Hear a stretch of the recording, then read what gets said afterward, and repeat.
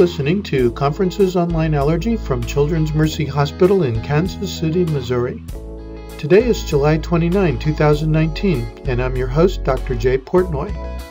Our topic today update on HIV. Our presenter is Dr. Andrew DiNardo.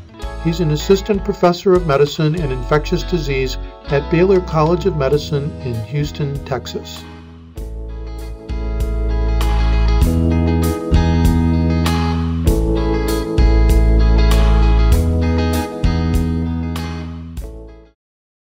Hi, everybody. For those of you who um, were here last year, uh, I had a chance to, this is my second year in a row, so um, some of you, there'll be a significant overlap, but I updated the slides um, with the, some new things in the field. Um, so my name's Andrew DiNardo. I'm an internal medicine and infectious disease trained physician. I uh, uh, work around three to four months a year in Eswatini, Swaziland, doing tuberculosis, helminth, HIV, uh, immunology, and then I see patients here in our inpatient consult service and in our outpatient uh, HIV clinic. Um, so I, I, have a bit of a varied life. Um, uh, I have absolutely nothing to disclose. No, um, no pharmaceutical money coming in for, for my work. Uh, here's the learning objectives. Um, so we're going to go over the importance of understanding the HIV cascade of care, and I'm really just going to emphasize over and over the importance of uh, early diagnosis, uh, opt-out testing, uh, linking people into care, um, because the meds work really well. But if people don't know they're diagnosed or if they don't stay in care, obviously the, the meds don't have a chance to work. So uh, important thing is getting getting them linked to care. We'll go over some cases about uh, drug-drug interactions, but uh, like everything with HIV care, uh, that's getting a lot easier um, as as we get newer and better medicines. Um, we'll go over who should be tested um, and who should be on antiretroviral therapy. Uh, the the very easy answer for that is absolutely everybody. We'll go over some common immune-mediated adverse effects from HIV and antiretrovirals. Uh, we'll go over some uh, safety of vaccines uh, uh in HIV as well. So these are two landmark studies. It's the same study, but the, it was updated. So originally came out in 2011 and then uh, updated in 2016.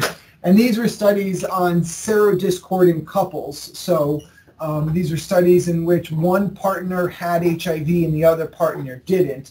And what they were doing was studying um, if early antiretroviral therapy uh, will decrease transmission. And, and that's what they found. And it really is a landmark study because um, uh, what it has shown, and other studies have confirmed this, is if an individual is undetectable, they don't transmit. So the the easy way to relay that to patients is U equals U. If you're undetectable, you don't transmit. So we tell that to people um, and in fact, many countries' guidelines do not recommend barrier protection if you are in a monogamous relationship uh, and you are uh, you are undetectable. Now, obviously, there are other uh, STIs that people can get, so you have to um, think about that and be careful uh, in that aspect. But um, this is a, an important public health message.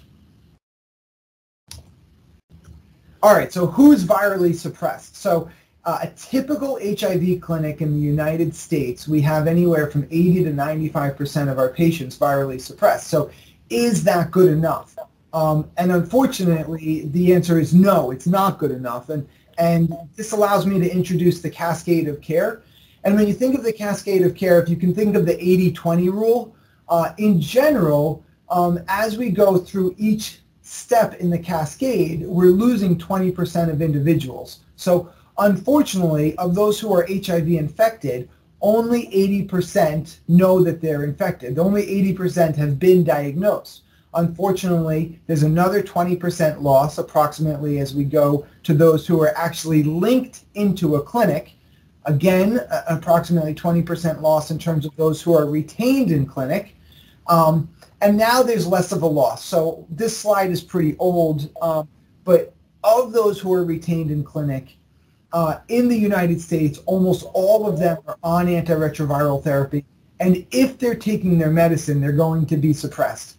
One message that you guys should walk away with this talk is that the medications work very well. So the biggest thing that we have to do is work with patients to get the medicines in their mouth, and that usually deals um, barriers then are just uh, individual life barriers, mental health barriers, substance use barriers. But if we can get the medicine into people, um, it works and they, they get suppressed. So these are old numbers from Houston. Um, in the bottom, you can see uh, an updated number, but the Houston numbers uh, mirror what we had nationally um, uh, at this point six years ago. And, and, these numbers are getting better for those who are suppressed. They're not getting better uh, in terms of what is on the left of the cascade of care. So we still, uh, while we're getting much higher rates of people on therapy and getting them suppressed, we're still struggling getting people in to care uh, and getting everybody who has an infection diagnosed with their infection. So from a public health aspect, the big gains that we need to make are moving into increased diagnosis, uh, getting people linked to care and getting them retained in care. So I, I, mentioned that I work in Eswatini a good chunk of my time, um, and there are additional barriers to care there uh, as this, this paper here shows. So in addition to just the individual barriers, unfortunately there are some family barriers uh, that add on to who can actually get into care. So uh, for example, not every partner is able to go to a clinic if the um, uh, if the husband refuses their ability to do so, or if the husband forbids them to actually use antiretroviral therapy. So uh, large amount of social stigma that still is preventing people from taking their medications. This um, slide at the far right of this one, you can see uh, an additional thing that is uh, a barrier is a, a, lack of universal HIV viral load testing and genotyping. So now we're getting much more people on therapy. Um, Eswatini, Swaziland, proudly will probably be one of the first countries to meet the 90-90-90 goals, which we'll talk about on the next slide, um, which is getting 90% of people diagnosed, 90% on treatment, and 90% virally suppressed. Uh, unfortunately, because uh, a barrier in the laboratory side, we're not getting the viral load testing as much as we want. We're not getting genotyping as much as we want, and therefore when we get genotyping, we're identifying genotypic resistance much later than we would like, and therefore there's many more mutations uh, that we have to deal with that, than we would like to deal with. So this is 90-90-90. This is the WHO goals that we're trying to get for every community. Get 90% of all HIV-infected individuals diagnosed, get 90% of them onto treatment, and get 90% of them virologically suppressed. Here's a slide from a meta-analysis from CID, Clinical Infectious Disease, uh, from last year, which is showing that in individuals in Africa who are on antiretroviral therapy, if they're lost to care, that's usually a, a pretty bad sign. As you can see with the red circle, um, I want you to focus on that second number. 22% of individuals, um, 21% of individuals, excuse me, who were lost to care uh, were deceased, unfortunately. So uh, again, the public health aspect of getting individuals linked and retained into care is a critical aspect. So I'll stop here. This is the first quarter of the presentation, and really this is a, a, a public health talk. Um, HIV is easy to diagnose, um, and now the medications are getting easier to use, and they're getting people virologically suppressed. We've got to do a better job of getting everybody tested. At your institution, um, do individuals have to sign for consent, or are they automatically tested when, when they come in? Hmm, they have to get consent. I'm, I'm not sure here, but where I came from, we had to get consent. We did too. I've never Yeah. been anywhere that didn't have Yeah. consent. We, we were kind of told even to test, if we didn't get consent, we weren't allowed to even. Yeah, that's what we were told. I would, um, so since 2012, when I came to Houston, our institution, the consent form when you come to care includes consent for HIV. So when you sign that consent form when you first are coming to care, you consent to get HIV tested, which allows for universal testing uh, and takes away that barrier. And that's an important barrier because um, we we uh, we have a lot of people that were just tested two months ago, four months ago, six months ago, who are end up turning positive. Um, and there are plenty of studies now coming out that the earlier you get somebody on therapy, the less immune damage is done and the smaller the HIV reservoir, uh, which right now doesn't have an immediate clinical impact, but probably will have a clinical impact in the future. Uh, so, so that's an important institutional change uh, or institutional barrier that could be addressed. Um, the other thing I want to point out here is life expectancy for an individual with HIV is near normal if they're started on antiretroviral therapy and they re- remain on the antiretroviral therapy. So the last study that I saw, there was an approximately two-month decrease lifespan in someone with HIV on their meds versus somebody without. So that's something. It's it's always the first message that I tell someone when when they get diagnosed is uh, I want to give them um, I want to let them understand that they can lead a completely normal life uh, and, a, and, a, full life uh, if they get on their medication and stay on their medication. All right, so to shake things up, um, I, I, put some case studies in here just so uh, we can stay interactive. So 64-year-old gentleman with HIV with a high CD4 count who's virologically suppressed and has long-standing viral suppression presents to a rheumatologist with bilateral knee pain that he attributes to working as a carpenter. There's tenderness to palpation over the joint space, um, and then the pain is relieved with an intra-articular injection. Unfortunately, two months later, the patient comes back, says he's exhausted, he's achy, um, and he's thirsty and he's peeing all the time. So does anyone have any, any idea what happened?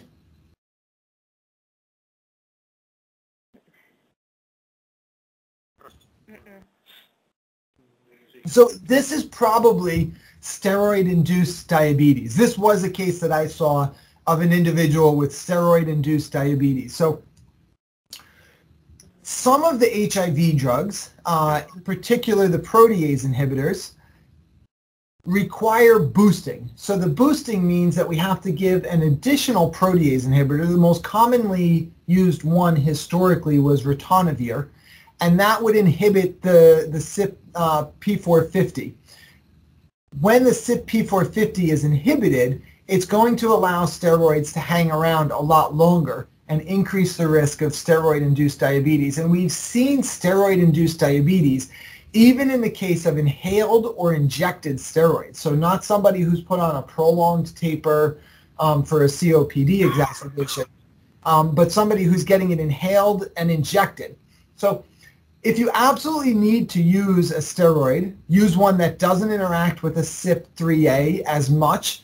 Um, and better yet, get the individual off of the protease inhibitor or um, the cobicistat. So let's go to the next slide. So in 2019, these are all of the first line regimens that we have. Now the one in red is the first first line, um, and everything else are the ones that are, are alternative first line therapies.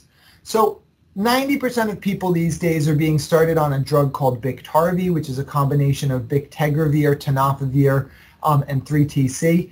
A small number of individuals are started on Triumec, which is a combination of dolutegravir, abacavir, uh, and 3TC. Um, so the drugs that are going to inhibit the P450 are your cobicistat and your darunavir um, and ritonavir.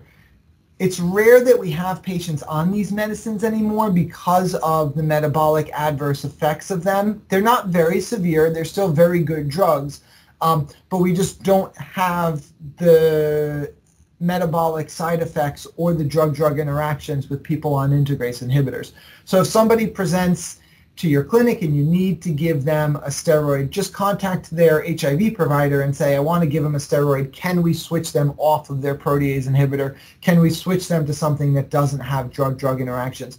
This is becoming much less of a problem as everybody is being switched over to integrase inhibitors uh, and switched off of protease inhibitors. But something that should be in the back of your mind, um, whatever app you have on your phone, just check it real quick for drug-drug interactions uh, and you should be fine.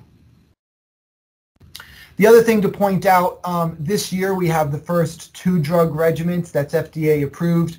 Uh, there are some caveats to using this, but uh, a bit of a paradigm shift for HIV care providers to be able to give a, a two drug regimen. This is the same information. I'm just showing you this in pictorial format. Uh, I like to show this to my patients to say, look at this. In 2019, if you'll notice here in this blue column on the top left, these are all the one pill once a day options that we currently have. Uh, the two in red are the ones that are used the most for the reasons that I mentioned to you. Um, down here in the bottom right, it's kind of interesting. You can see these legacy drugs. Uh, really shows you how far we've gotten in HIV, that we have drugs that are, are rarely used anymore. Some of them, like Trizivir, right here is rarely used because it didn't work very well. It didn't get viral suppression as well as others. Others like Kaletra, um, this is a very uh, common drug, very robust drug, but when you're on it for decades, it would lead to metabolic adverse effects, and that's why we don't use it anymore. Um, others, these are the drugs that, right, so um, IDV, let's see, DDI, uh, and somewhere D4T. These are the drugs that used to cause pancreatitis. We don't use these for side effects anymore. None of the common drugs that we use currently um, increase your risk for pancreatitis. So for the most part, these drugs have uh, been retired because of better safety pro profile of newer drugs. All right, another case. 23-year-old comes in after uh, motor vehicle crash, um, in the ER opt-out testing, diagnosis HIV, he's referred to your clinic. CD4 count of 500, viral load 39,000, CBC and CMP are normal. The rest of the social exam and the physical exam are all normal. So when should he be started on antiretroviral therapy? His CD4 count's pretty high. What do people think here? You should start now. Yeah. Now. If he's So- not having an active infection, that you would be concerned for iris. Great. So in general, the rule of thumb, as soon as the patient says they want to start and as soon as you can get them ready to understand the importance of starting, you want to start them. The other important thing is make sure that they have a continuous supply of antiretroviral therapy. The therapy is expensive, but if you live in a major city that has a uh, a good Ryan White funded HIV clinic. There are plenty of different pathways to get patients covered. Um, and good clinics are really run by good case managers and social uh, social workers who know all of the different payment plans. I tell my patients, no matter how little or how money much money you make, we'll find a way to get your meds paid for. You might just have to work with the case managers a little bit longer. But once we get that continuous supply of antiretroviral therapy for the patients, you want to start them as soon as you can. And the reasons are listed here. We spoke about the decreased transmission from the HPTN 052 study. Um, uh, starting with CD4 counts greater than 500 has also been shown to decrease mortality. Now, this study was done in West Africa, and most of the mortality was due to decreased TB that occurred in people with CD4 counts greater than 500 but we still apply it that in general there's decreased mortality even at CD4 high CD4 counts. There's an old study, the SMART trial, that's a, about a decade old, that also showed that being on antiretroviral therapy, even if you had uh, elevated CD4 counts, was beneficial in terms of decreasing coronary artery disease, stroke, uh, and renal impairment. Finally, there's decreased risk of cancer even at high CD4 counts for decreased KS uh, and lymphoma. So the answer is as soon as you can get the patient to put the medicine in their mouth every single day, you want to get them started. All right, so 32-year-old presents with fever, cough, weight loss. The individual is diagnosed with TB and HIV. The CT scan shows very uh, faint miliary disease with some hilar lymphadenopathy. Um, anti-tuberculosis therapy is started. Four weeks later, the patient's feeling better. Antiretroviral therapy is started. Three weeks after that, the patient reports an increase in symptoms. So fever, chills, cough, and new hemoptysis. So what happened here?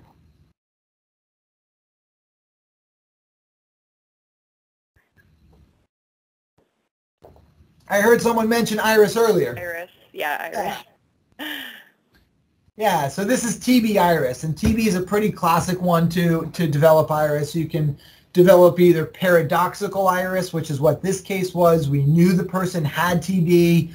We started them on therapy. They got better, and then they got worse. A paradoxical um, iris. Uh, there's also unmasking iris where someone comes in, they're asymptomatic. We start them on their antiretroviral therapy, and then then two to two weeks to two months later, they they have um, new symptoms of TB. The TB was probably there all the time, um, uh, but the improved immune system unmasks those symptoms. So there are plenty of studies that have looked at this. When should we start people on antiretroviral therapy in the setting of a certain co-infection? In general, and I'll tell you the exceptions coming up, but in general, early antiretroviral therapy improves mortality but is associated with increased morbidity. So usually what we tell patients is, especially if your CD4 count is less than 50, okay, there's a chance you could have a detrimental immune reconstitution. There's a chance that we're going to do exactly what we want. We're going to wake up your immune system, but you're going to have an increase in symptoms. We'll get you through that increase in symptoms. You just have to stay on your meds, tell us what symptoms you have, and, and in general, for people with CD4 counts that are lower than 50, there's up to a 33% chance that they'll develop iris, depending on the study that, that was looked at. All right, another case. 27-year-old female diagnosed with, anti, uh, with HIV, started on antiretroviral therapy. Four months later, develops diarrhea, palpitations, alopecia, exophthalmos, thyromegaly. The TSH is undetectable and the thyroid ultrasound shows diffuse glandular enlargement. Does anyone want to guess what happened here?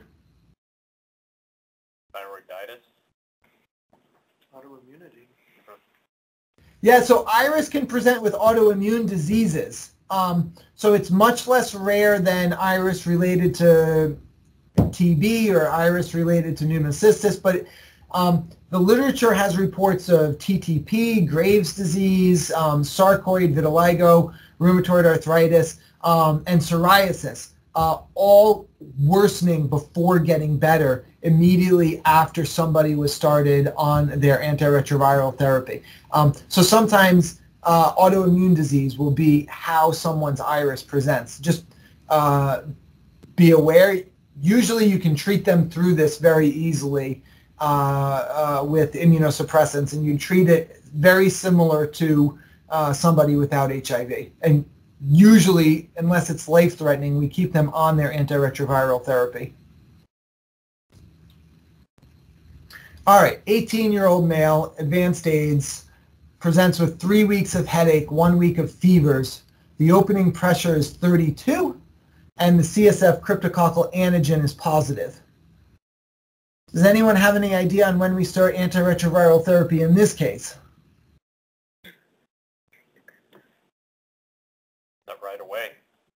So this is the one exception is meningitis. So for cryptococcal meningitis or for TB, if they develop iris, the iris can be fatal because obviously increases in opening pressure, increases in inflammation in the closed space of the brain um, can be extremely detrimental uh, and, and fatal. So this is the one case where we have good evidence where you'll delay antiretroviral therapy. Um, uh, and, and in general, we base this recommendation off of a study that was done in Uganda that delayed therapy for six weeks. Most individuals in the U.S. will start someone on antiretroviral therapy between four and six weeks depending on the clinical course. So this is meningitis, both the cryptococcal meningitis or TB are the one uh, exception to the rule that early antiretroviral therapy early is beneficial. All right. 18-year-old female has fevers, sore throat, pancytopenia, and is presenting in septic shock. Her HIV screen is negative, but an HIV viral load uh, is greater than 10 to the 7. So that's a, consistent with acute HIV. Labs show a transaminitis, the hemoglobin's 5, platelets are 18, and the ferritin's greater than 20,000. What's going on here? HLH. Mm-hmm. So acute HIV um, is one of the precipitating factors uh, of HLH. Um, so in general, HIV will present with a sore throat and a mono-like illness.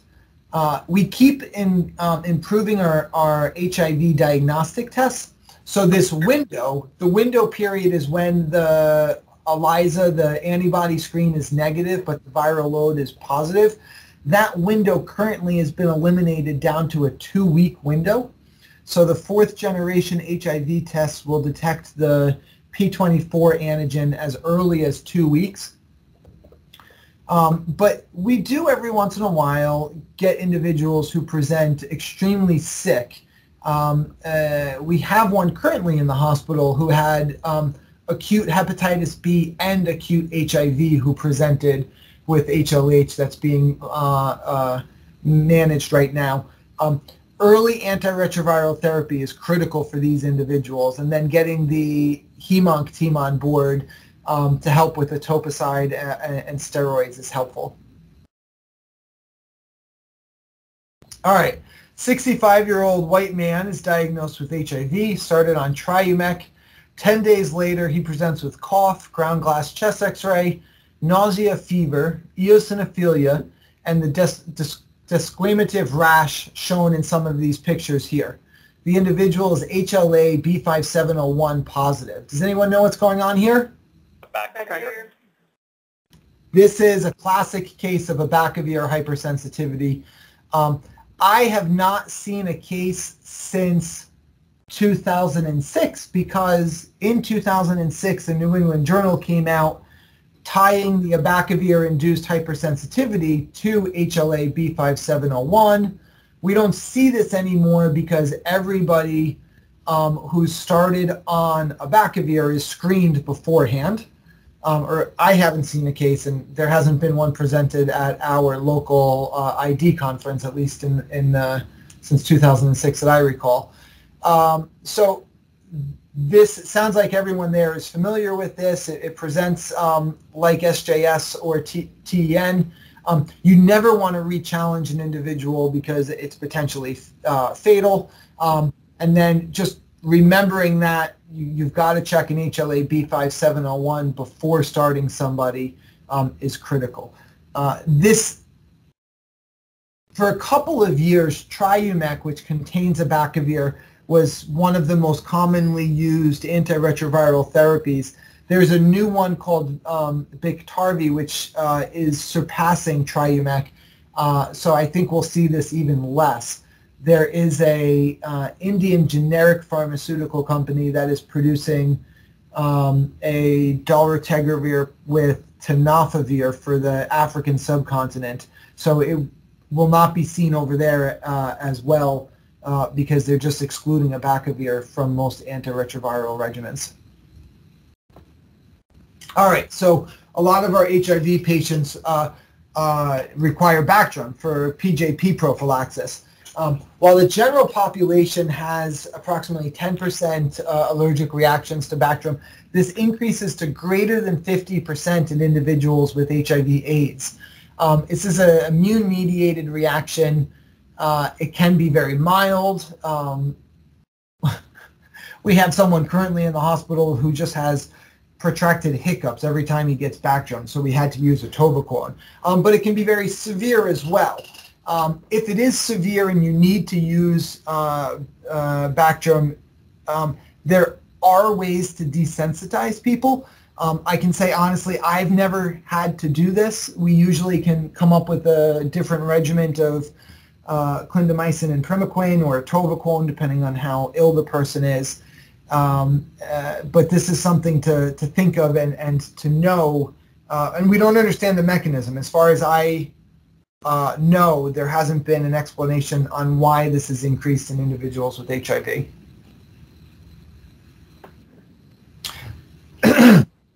this is a slide from a few years ago, but I, I, I keep this slide just to, to prove a point. Um, so Dolutegravir is one of the most common integrase inhibitors. It's part of the Triumeq regimen. Um, Darunavir, ritonavir is the most commonly used protease inhibitor combination at this point. Um, and then efavirenz, this is Atripla. Um, this was the most common one pill once a day regimen um, from 2006 to approximately 2012.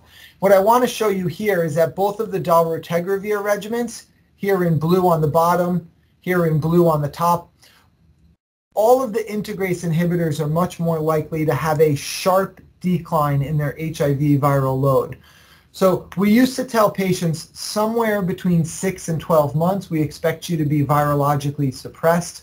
Now we get to tell patients somewhere between 1 and 3 months we expect you to be completely virologically suppressed after you start your antiretroviral therapy. With this, I have not seen a report that there's going to be that, that we're having increased immune reconstitution due to more rapid um, immune recovery and, and viral suppression. Uh, it's certainly something that's feasible that we are thinking about and watching.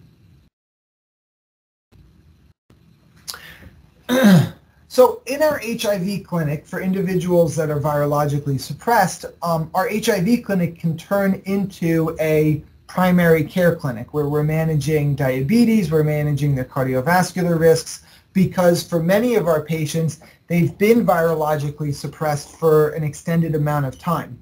One thing that's been noticed is that there's increased rates of allergic rhinitis and reactive airway disease. Uh, there's no current HIV-specific treatment for this. Um, some individuals think that we have to make sure that they're fully virologically suppressed. Uh, a lot of our patient population is smoking both tobacco and marijuana, uh, and helping them with that might help. Um, and just to reiterate the message from earlier, you can get them on inhaled or intranasal steroids if you think that will help, um, but just beware of drug-drug interactions and again, hopefully that is occurring less and less as we move people um, from more antiquated regimens to more modern regimens. So can HIV patients undergo desensitization? Uh, the answer here is, is absolutely um, yes. There, there's absolutely no contraindication. Um, my recommendation and what I've seen in the literature is make sure they're virologically suppressed first um, because uh, as we see with Bactrim-related uh, allergic reactions, that decreases the longer someone is virologically suppressed. But once they're virologically suppressed, um, uh, once the CD4 count is recovered, um, you can safely uh, desensitize uh, patients living with HIV. Uh, when is it safe to vaccinate individuals? Um, if it's an inactive vaccine, do it anytime you want. Um, if uh, if it's the flu, for example, just give them uh, not the intranasal flu, which has been removed from the market, I think, last year. But for the flu, give it to them every year, irrespective of their CD4 count and viral load. Um, some experts recommend for vaccines that you can delay, to delay until they're virologically suppressed um, and they've reconstituted their immune system. In general, for attenuated live vaccines, you want to wait until their CD4 count's greater than 200 and the viral load is suppressed.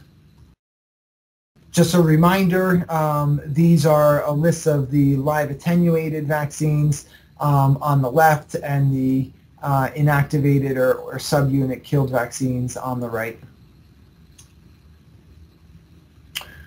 Uh, for zoster, it's recommended um, to give it uh, once the CD4 count is greater than 200 and the viral load is suppressed.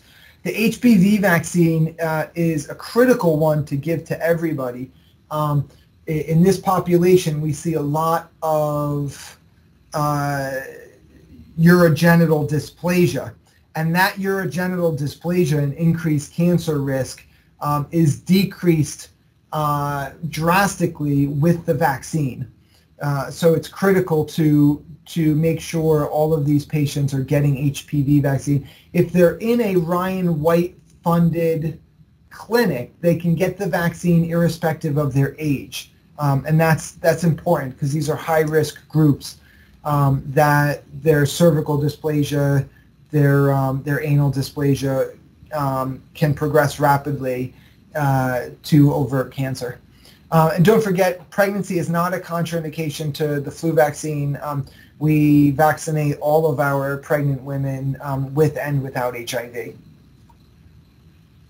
AIDSinfo is a great website. Um, it's a government-run website that is continuously up, updated with new information. Um, uh, I frequently pull this up to to check for um, for my live vaccines to to make sure I'm giving them at the correct time. Uh, it's a great resource uh, to pull up. And here's a slide uh, that I wanted to share because I think it's going to be a game changer for a select group of patients that are having trouble taking uh, oral therapy for HIV. So this is not FDA approved yet, but it's over two years since we've had the success of a phase two study. So this is intramuscular long-acting cabotegravir, which is an integrase inhibitor, with rilpivirine, which is an NNRTI inhibitor. So what happens with, with these studies um, is they get the oral version. This gray part is they're getting the oral drug, cabotegravir, um, plus abacavir lamivudine, to get them undetectable. Once they are undetectable, they are then switched either to intramuscular uh, cabotegravir rilpivirine for every eight weeks or every four weeks, or they stay on the same drug uh, an oral version of the drug. Um, so what you can see here is that the intramuscular injection uh, was statistically significant, uh, non-inferior, excuse me, um, to the oral regimen. So for individuals with severe mental health, with housing insecurity, um, with substance use, uh, who have trouble remembering to take a medicine every day, uh, a lot of us are hoping that this once a month, once every two month uh, regiment uh, will give us a benefit for these individuals. So that's it. I have a list of take-home points and learning uh, points right here um, that you guys can review later. Uh, are there any questions? I have a question.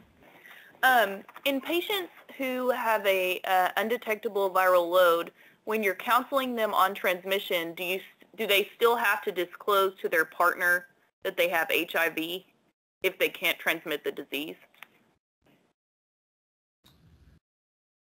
Disclosure is um, disclosures are, are, a personal topic. Um, I don't know the legal ramifications of disclosing or not disclosing once you're virologically suppressed. I can't answer that. It, it, it is very challenging for us um, to work with family members and knowing the right time that disclosure would be beneficial and when disclosure might be detrimental. We offer case managers and social workers. I hope I got across the point that successful HIV care in 2019 uh, is critical to have both the MDs, uh, the clinicians, and the the ancillary staff working together to address these issues. I'm sorry, I, I don't have a direct answer to you for that from the the legal ramifications. Okay, I was just curious. Yeah, it's an interesting question. Um, yeah, I think we're getting into a legal political realm with this one. Yeah, so just a, just a comment and a question, uh, Jay Portnoy here. Uh, I was trained in the early 1980s when this disease was first discovered, and it was universally a fatal uh, disease. It was a death sentence. You died quickly. There was no treatment that was effective. When the first uh, protease inhibitors came out, it was considered a miracle, but you had to take it every like four hours or something, and terrible side effects. It was it was terrible. And so hearing this information, it's it's a game changer. It's it's like, are you talking about the same disease? It, it, it's mm-hmm. like a, it's just a chronic disease like any other chronic illness mm-hmm. that we treat now, and that's I never dreamed that that would be the, the case. So this, this is absolutely miraculous from my perspective. My, my question is, uh, are we close to a cure where we can just, you know, actually get rid of it and then they don't have to keep getting the treatment? How, how far away is the, is the cure for HIV? I'm going to tackle that in three different steps. Um, one, uh, to reiterate what you said about how much it has changed. The magic year historically is 1995, where we found out that combination highly active antiretrovirals um, changed people's lives and prevented uh, the universal mortality that we had. Um, and uh, we had the so-called Lazarus effect about people coming back from the dead. Um, uh, unfortunately, the stigma related to HIV AIDS still persists, which is why I now start my conversation with people when I'm telling them they have HIV, that people with HIV, if they take their medicine every single day, uh, will live a normal life expectancy, near normal life expectancy, um, with only one pill a day, which which is very different from the mid 90s when we had to take 21 pills in a day often. Um, the second part about the question about a cure, uh, we have a cure right now. Um, unfortunately, that cure requires you to take one pill once a day for the rest of your life, but I would argue that's a lot easier than managing diabetes where you have to check your blood sugar, you have to actually use part of your brain to decide um, how much insulin to give yourself. You've got to watch your diet. You don't have to watch your diet at all um, with HIV other than for the fact that, you know, like any other person, you're at risk for cardiovascular disease. Um, so I, I, I, take a little bit of offense when the, the news cycles come up for the Berlin patient or the London patient because we have a cure right now. Um, it just requires a little bit of work of patients taking their meds every day. The bigger question which you're asking is when do we when are we going to have a cure there people don't have to take their meds? There's many pathways towards that. Um, uh, I, I, last reviewed that topic around a year ago, and there's a, there are people who are working on interferon alpha, Pegasys, um, in order to boost the immune system after keeping people suppressed for a long time. People were using TALENs and and uh, and zinc finger nucleases, and now you're using CRISPRs to try and think about how this would be feasible. Uh, and then I hope everybody in the audience has heard about the Berlin and the London patients, which unfortunately were individuals which developed AML. They went through multiple bone marrow transplants um, and they were transplanted with a CCR5 um, uh, resistant uh, uh, uh, transplant, um, and therefore they were able to come off of their medicine, their antiretrovirals, because their cells couldn't be infected with, with HIV because of the CCR5 um, single nucleotide polymorphism. Um, unfortunately, as as this audience knows, I mean, a bone marrow transplant comes with approximately 20 to 35% mortality, and that's just not a feasible way for cure as of right now. And the CRISPR technology has way too many off-target um, uh, effects uh, right now. But people are spending their careers looking for that. So I, I think it's feasible in the next five or 20 years that we do have a cure that patients can come off of their medicines. But right now, I would highlight the point um, that you already highlighted, which is that this is an easy disease to treat if people put the pills in their mouth once a day, and, and they have an effective cure at that point. And one, one other comment. Um, this is a disease that's been a terrible affliction to mankind, and you know the, the miraculous, not notwithstanding the miracles in terms of the treatment. The other thing, the, the, the I guess there is a silver lining to this cloud. Look at how much we have learned about how the immune system works and about how to modify it just by being motivated to study and try to conquer this disease. It is it has resulted in new technologies and new knowledge of the immune system that I would posit might not have been available to us had this disease not occurred. What do you think of that? I think it's a good point, and it's uh, an interesting silver lining that we always um, that we always look for for those silver linings, and we need our our leaders to set aside money um, to to for this research. Hundred percent agree.